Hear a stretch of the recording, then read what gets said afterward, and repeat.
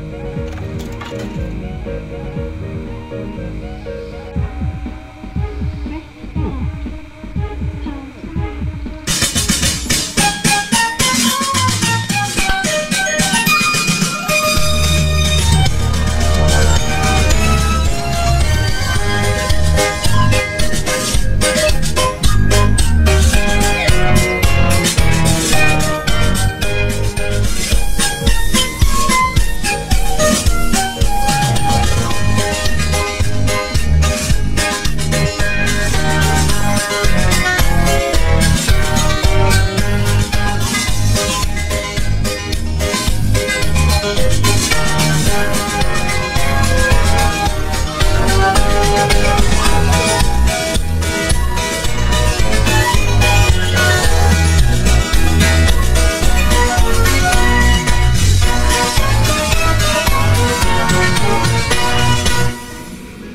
different by now that was so much fun.